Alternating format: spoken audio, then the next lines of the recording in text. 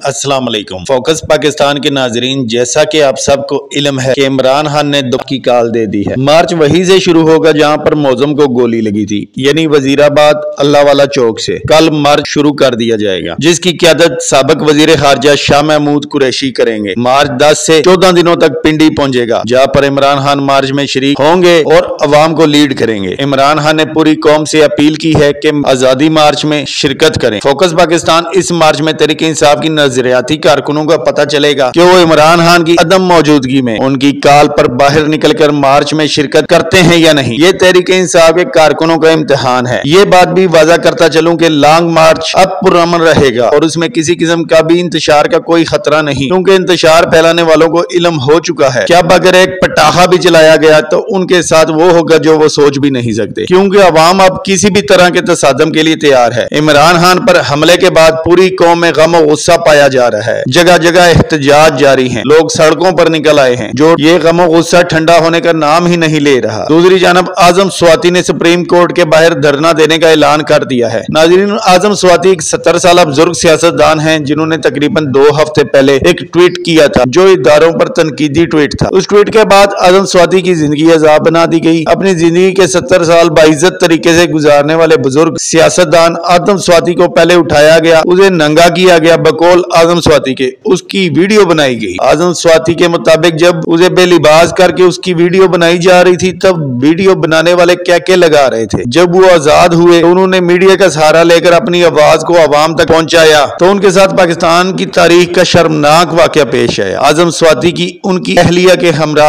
एक video leak कर दी गई और आज़म स्वाति की अहलिया को नामालूम नंबर से वीडियो भेजी गई। पाकिस्तान की बेटी जिसका सियासत से कोई तलक नहीं, वो ये सदमा बर्दाश्त न कर पाई और इस्लामी जमहूरिया पाकिस्तान को छोड़कर रिपब्लिक ऑफ़ अमेरिका अपनी बेटी के पास चली गई। जिसने भी ये मामला किया है, वो ये चाहता है कि आज़म स्वाति खुदकुशी कर ले। आज़म स्वाति के मुताबिक ये वीडियो तब की है जब वो अपनी बीवी के हमरा कोयटा गए थे और सादक सुंजरानी के अरेंज किए गए मकान में ठहरे थे। नाजरीन, यहाँ पर बात को समझे कि आज़म स्वाति धड़ाधड़ प्रेस कॉन्फ्रेंसेज कर रहा है, उन लोगों के खिलाफ जिन्होंने उनकी इन्वेस्टिगेशन की और वीडियो नशर की जाती है। वैसे तो जो नशर हुई है, वो वीडियो फेक है। और जो आज़म स्वाति की अहलिया को भेजी गई है, वो असली है, बकौल आज़म स्वाति के। मतलब ये कि बल्ती पर तेल डालने के लिए ये वीडियो वाली गेम खेली गई है, ताकि आज़म स्वाति के इदारों से मामला मजीद खराब हों। सादक सुंजरानी ने एक और गैरत का मुजाहरा किया है, वो ये कि चौदह मर्द हजरात पर मुश्तमल एक बेंच तश्कील दिया है, जिसमें आज़म स्वाति की मुबीना वीडियो पर तहकीकत की जाएगी। बहरहाल,